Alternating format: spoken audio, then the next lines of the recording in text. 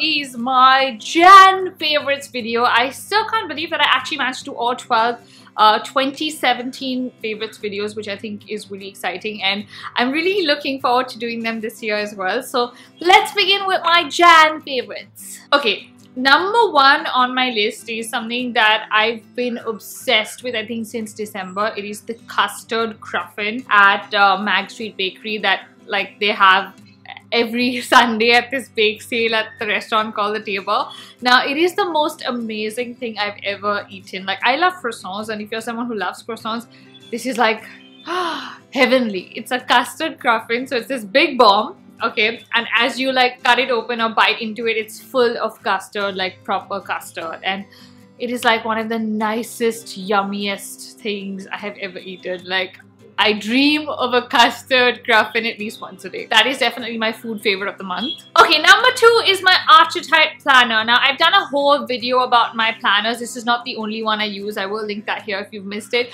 But Jan is very exciting for me because it's like a new year, a new month, and a new planner. So a new planner is always exciting. I feel like you have to fill out the first few pages and like uh, you know, think of goals for the year and all of that, which is really, really exciting. And I've been using this a lot this month, so this is definitely on my list. Okay, up next we have my favorite movie. It has to be The Post. We watched a few movies this month. There was Darkest Hour, The Post, and one more, I think. But The Post, hands down, has to be my favorite for the month. Meryl Streep and Tom Hanks together, what an incredible like combination that is. And just the, the whole movie was just really um, entertaining and I mean I love Meryl Streep movies so I think for me this definitely was an amazing movie and if you haven't watched it yet I think it's still in cinemas so make sure you watch it because it's a great movie. Uh, okay, so my next favorite is this little thing. Now, Decathlon opened a store in town and uh, we went there and I bought this along with like yoga mats and stuff this was one of those things I thought I would never use. You know, you go into a shop and buy it and then you're like, huh, you know, wasted purchase. Weber was like, why are you even buying this? But oh my god, like it was like six, seven hundred rupees, but it's like this electric little massager and works on batteries. And oh my god, it is heavenly. Like it's definitely not like major, but it gets like your basic knots and it just feels really good. Like I mean I can't stop doing this. I love that it has this muscling technique. I don't I don't know if there's a word for that in English, but you know when you like you, you, can just put pressure with these three knobs which really works and it comes on automatically so when you put pressure on this is when it starts like vibrating I get really tight in my shoulder area and my neck area because I'm always on a computer and like this so yeah I have been loving this this month and I can't seem to stop once I start. Okay, next up we have my favorite lipstick or lip balm or gloss or whatever you want to call it of the month, which is the one that I'm wearing. It's this one from Tony Moly. It was in my Korean haul. Again, if you haven't seen that yet, check it out here. It's just this little, you know, like crayon-like lipstick. It says Petit Bunny Gloss Bar. Um, it's a bit shiny comes on really easily. And um, it's just a really really pretty pink. Like I've been using this a lot since I got back from Korea. Even yesterday in fact someone asked me on my Snapchat what's the shade you're wearing? This is the one. But the only thing is it doesn't last. Like you've got to keep reapplying it if you eat or drink or anything. Comes off really easily but it does look great now, one of you lovely Shroffers, uh, you know, sent me a message on Snapchat. I'm going to put that here, saying I should do my favorite moment of the month in my favorites as well. So this time, I'm adding my favorite moment for Jan as well. So there were lots of favorite moments, like because I love some moments in Korea and lots of other moments. But I think hands down for me, the favorite moment of Jan has to be the moment I saw Web of uh, while I was running the marathon. This is the video that he shot of waiting for me with Gatorade. Um, now, I've in all the marathons I've run, has come to cheer me on for a cuppa, but this was literally me just passing him. And um, honestly, when you see someone like a familiar face when you're running a marathon, it's like an energy booster. Like when you play games, you know, where you get those little bottles of energy boosters on the top that is what seeing a familiar face does to you when you're running a marathon. This was one of my toughest marathons for sure, uh, where I was struggling a bit and to see his face was just like, okay, I can do this. So uh, yeah, and this year like there was no one. Like usually my nephews come to cheer me on. This year they overslept. Uh, my parents were traveling, so I did see people I knew, but like to see someone you're close to really makes a big big difference and that was my favorite moment and i'm glad he got it on camera because now i have that forever and uh, yeah that was my favorite moment Speaking of marathons, my next favorite is this one. It is a sports bra. It is the sports bra from Nike. Now, I'm not sure if this one has a name. So I think I discovered this sports bra of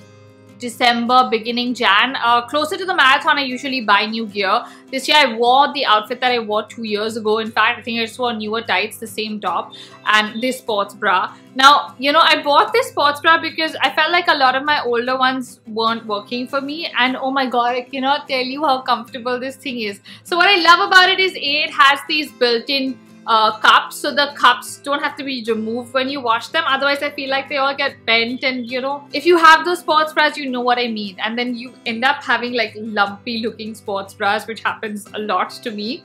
So um, this has inbuilt cups so you don't really need to do like that. And nothing happens to them. I've been chucking this in the washing machine and you can see it looks pretty much as good as new. So yeah I really really love this one. And what I love about it is that it gives you the support you need without like you know making you like pachak.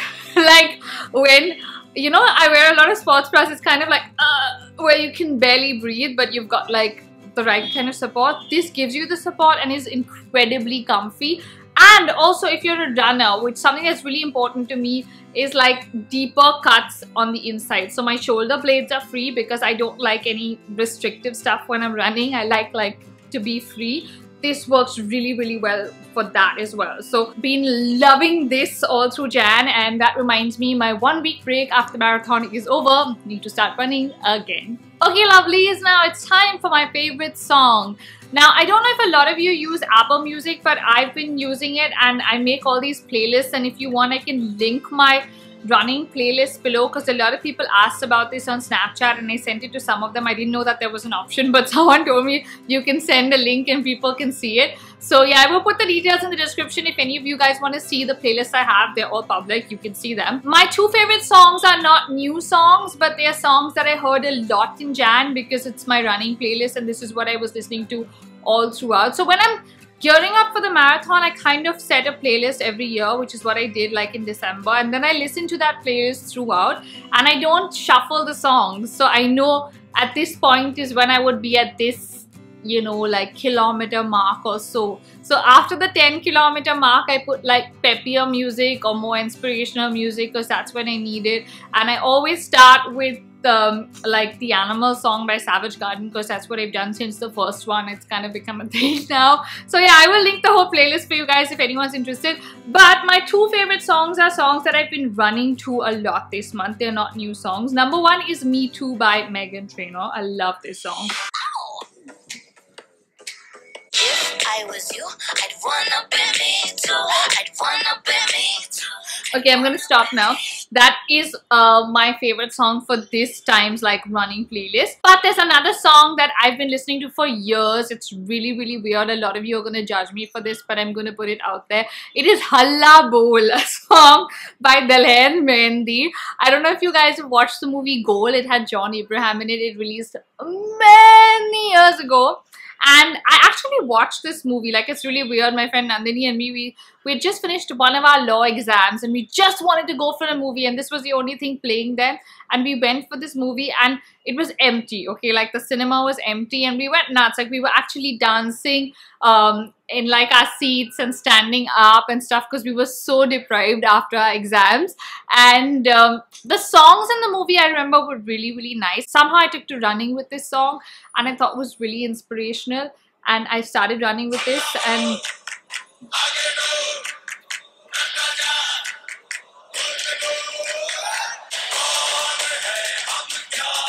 दुनिया को दिखाएंगे रोके जो पर्वत भी हमें रोक पाएंगे okay I do not know how I know the song why I know the song why I hear this song so much but yeah every year I listen to it when I run the marathon it really gives you that josh and that power to go on and be like I can do this so um, yeah, Halla is a power song that is on my favorites list. I never thought I would be saying this out loud, but Yep. Then my next favorite is from the fashion category. So I kind of rediscovered these flats that I'm wearing right now. I don't know if I can show you these. I'm gonna try. Oh, not the sole, but like the shoe. Can you see this? okay, I will put another shot in there where you can see them clearly. Um, I kind of forgot about these. I bought them in Australia last year and uh, I totally, totally forgot about them. You know, when you have lots of shoes and they get put somewhere and you forget. And I rediscovered them in Jan and I've been wearing them with a vengeance. Like everybody is like, do you have no other shoes? Like you're wearing the same pair every day. Uh, but yeah, I love, love, love these shoes. They're super comfortable. Like we bought them from this random store in Australia. I've totally forgotten the name as well. But yeah, like I have been wearing these through Jan and I think they're that really nice mix between like formal and casual but like funky. I don't, I don't know how to explain it but I've been loving them. Okay, time for my favorite shows. Now, um, number one has to be This Is Us. So they've got new episodes out for all the This Is Us fans and uh, wow they are interesting episodes guys. So uh, yeah season two this is us. Um, it continues. So this show is like fantastic and i cannot get enough of this show. Like i'm i'm watching it on hotstar but i think it's also showing on star world. Like the other day i was eating dinner with my mom and it was on star world and it's like the newest episode. So uh, yeah definitely watch this is us. That is like one of my favorite favorite shows of all time. Then we have Grace and Frankie again, which is an amazing show. For those of you who haven't watched it, it's on Netflix. I think they are also on what season three now. I'm not sure if it's two or three, but it's the new season that's out, and I'm pretty much almost done with it. I have just two episodes left. These women are hilarious and like it's one of the nicest shows on Netflix. So definitely check that out. Then the next show that we have is kind of bizarre. It's a bit mad. It's End of the world excuse my language but that's the name of the show. And uh, it's as bizarre as it sounds. Um, it's about two like teenagers and like the stuff that happens in their life. I'm not going to reveal more to you guys. It's a bit bizarre and a bit mad but like I quite enjoyed it on Netflix. I did. Yeah I liked it. And the last show that I've been watching is One Day at a Time. Again new season just dropped on Netflix love love love that show. It's really funny. It's really one of those like shows you would probably watch on tv but it's on netflix and it's super super funny. And i think uh, rita moreno who is the grandma is my favorite favorite favorite person in the show. Love love love love her.